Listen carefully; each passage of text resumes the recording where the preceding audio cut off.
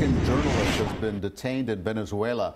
Witnesses say Venezuelan security forces took him from his apartment today. Cody Weddle is his name. He's a freelance journalist who reports on Venezuela for several news outlets. The State Department says it's aware of the situation and reminds Nicolas Maduro and his regime that the world is watching.